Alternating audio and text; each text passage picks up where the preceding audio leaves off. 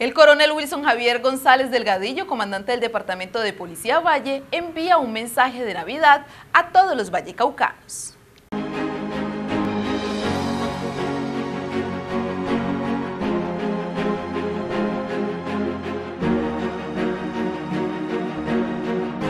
Navidad segura, más cerca del ciudadano.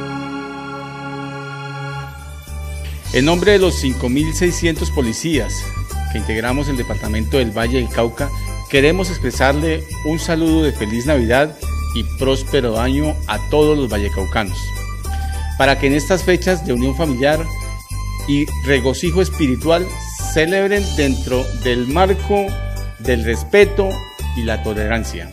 Recuerda, amigo ciudadano, modere el consumo del alcohol y no permita que sus familiares, hijos o amigos manipulen pólvora.